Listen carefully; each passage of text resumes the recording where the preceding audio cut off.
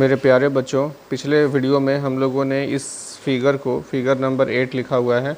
इसको समझने का प्रयास किया कि ये स्टिक का क्या मतलब है, ये कैप का क्या मतलब है, यहाँ जो एक वोमेन है, इसके हाथ में ब्रोकन चेन है, क्या मतलब ये सब वगैरह वगैरह हम लोगों ने पढ़ा, ठीक है? और इसमें ये जो टैबलेट्स हैं, ये लिस्ट हैं, ये डिक्लेरेशन ऑफ़ राइट्स हैं कि नागरिकों को, फ्रांस के नागरिकों को जो राइट्स मिले हैं, ये वो सब लिखा हुआ है, ये जो कि, लेकिन इसको आप ध्यान से देखिएगा तो ये फ्रेंच लैंग्वेज में लिखा हुआ है, जो कि आपको समझ में नहीं आएगा। ठीक है? इसे ही इंग्लिश में ट्रांसलेट करके यहाँ पे लिखा हुआ है सोर्स सी में। Declaration of rights of man and citizens व्यक्ति को और नागरिकों को जो अधिकार मिले हुए हैं, उसकी ये घोषणा पत्र है। उसका उसका घोषणा किया जा रहा है कि क्या क्या अधिकार मिले हुए हैं। पहला men are born and remain free and equal in rights व्यक्ति जब जन्म लेता है तो स्वतंत्र होता है और स्वतंत्र जीवन जीता है और सभी व्यक्ति के पास समान अधिकार होने चाहिए। किसी व्यक्ति को समाज में कम नहीं होने चाहिए अधिकार या किसी व्यक्ति को समाज में अधिक अधिकार नहीं होने चाहिए, सबको बराबर अधिकार होने चाहिए। Point number two the aim of every political association is the preservation of the natural and in rights of man natural right rights का मतलब होता है कि वैसे अधिकार जो हमारे जन्म लेते ही हमें मिल चुके हैं, ठीक है? और इन एलिनिएबल राइट्स का मतलब होता है कि वैसे अधिकार जो हमसे कोई छीन नहीं सकता है, उसे इन एलिनिएबल राइट्स बोला जाता है। तो पॉइंट नंबर टू का ये मतलब हुआ कि जितने भी पॉलिटिकल एसोसिएशन हैं पॉलिटिकल एसोसिएशन का मतलब पार्लियामेंट हो गया, सरकार हो गई, ठीक है? या वैसी संस्थाएँ जो हमारे ऊपर रूल कर रही हैं तो वैसी कोई भी संस्थाएँ जो पॉलिटिकल एसोसिएशंस हैं, उनका सारों पॉलिटिकल एसोसिएशंस का ये एम होना चाहिए, ये उद्देश्य होना चाहिए कि वो हमारे नेचुरल और इन एलिनिएबल राइट्स की सुरक्षा करे, उसको प्रिजर्व करके रखे, उससे कोई नुकसान नहीं पहुँचे। ये नेचुरल और इन एलिनिएबल राइट्स क्या क्या हैं? For example liberty property security और रेजिस्टेंस टू ऑपरेशन मतलब लिबर्टी मतलब हमारी स्वतंत्रता होनी चाहिए हमें, हमारे पास। प्रॉपर्टी मतलब हम संपत्ति बनाने का अधिकार होना चाहिए। सिक्योरिटी मतलब हमें हमें सुरक्षा होनी चाहिए हमारी। और रेजिस्टेंस टू ऑपरेशन का मतलब है, कहीं अगर हमारे आँखों के सामने किसी के ऊपर अत्याचार हो रहा है तो हमें उसका विरोध करना चाहिए। ये विरोध करने का अधिकार होना चाहिए। Point number three the source of all sovereignty resides in the nation sovereignty को हिंदी में बोलते हैं संप्रभुता। और संप्रभुता का अर्थ होता है कि जब किसी कंट्री के पास उसे अपना डिसीज़न लेने का पूरा अधिकार होता है तो उसे सॉवर्निटी बोला जाता है। जैसे कि आप हमारे देश को देखिए कि हमारा देश 1947 के पहले भी हमारा देश था और 1947 के बाद भी हमारा देश था। लेकिन 1947 के पहले हमारा देश, यानी कि इंडिया का जो टोटल डिसीजंस है, वो ब्रिटेन की गवर्नमेंट लेती थी ब्रिटेन की महारानी लेती थी। तो 1947 के पहले हमें अपना डिसीज़न लेने का अधिकार नहीं था। 1947 के बाद जब हम आज़ाद हो गए तो हमें अपना डिसीज़न लेने का अधिकार मिल चुका है है अभी हमारे पास। तो अभी इंडिया जो है, इंडिया के पास सोवरिनिटी है, लेकिन 1947 के पहले इंडिया के पास सोवरिनिटी नहीं थी। तो सोवरिनिटी का मतलब होता है अपना कोई भी डिसीज़न लेने की क्षमता अपने पास रखना, किसी दूसरे के पास नहीं होना। ठीक है? आइए। पढ़ते हैं आगे। तो नो ग्रुप और individual may exercise authority that does not come from the people अब ये बोल रहा है कि किसी नेशन कोई भी नेशन होता है, यानी कोई भी देश होता है तो सारी की सारी सोवर्निटी किसके पास होनी चाहिए?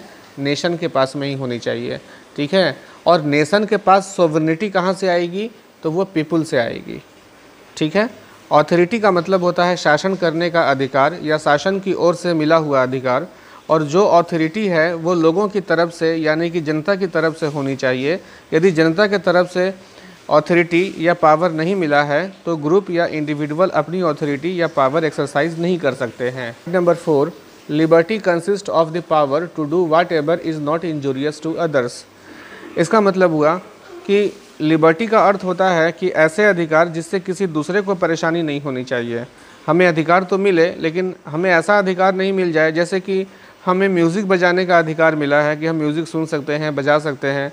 तो इसका अर्थ यह नहीं हुआ कि हम हॉस्पिटल के पास चले जाएँ और वहाँ पर बहुत ज़ोर ज़ोर से म्यूज़िक बजाने लगे ताकि वहाँ के पेशेंट परेशान हो जाएँ।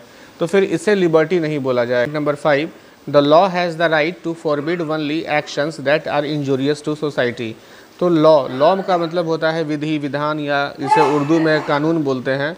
तो कानून के पास ये अधिकार है कि ऐसे कानून ही बनने चाहिए जिससे कि समाज में किसी को कोई इंजरी नहीं हो, किसी को कोई नुकसान नहीं हो, किसी को कोई दिक्कत नहीं हो, किसी को कोई हानि नहीं हो। कानून ऐसा बनना चाहिए कि वो कानून क्या करे, किसी को ऐसा काम करने से रोके जिससे कि समाज को नुकसान हो, या किसी को गलत काम करने से रोके।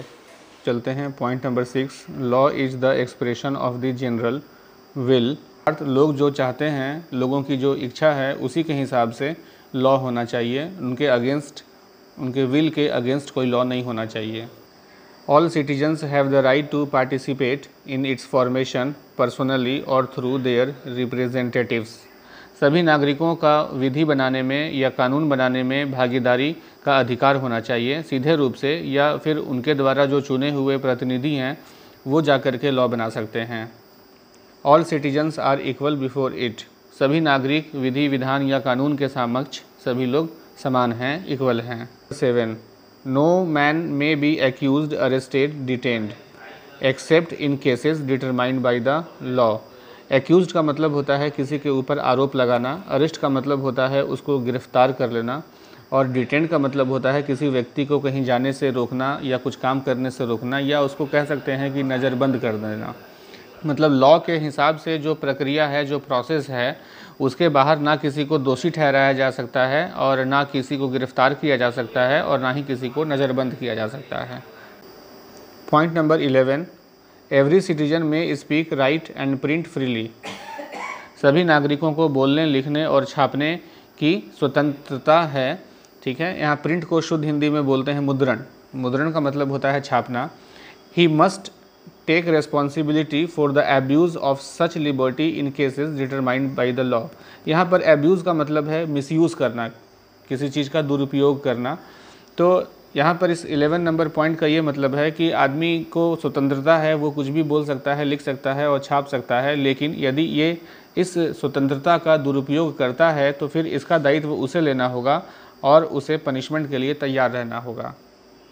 Point number twelve for the maintenance of the public force and for the expenses of administration, a common tax is indispensable. इसका मतलब ये हुआ कि देश की आर्मी को चलाने के लिए और गवर्नमेंट को चलाने के लिए या देश के पास और भी बहुत सारे खर्चे होते हैं, इन सारे खर्चों को चलाने के लिए कोई लोगों के ऊपर में टैक्स लगाया जा सकता है और लोग, लोगों को टैक्स देना चाहिए।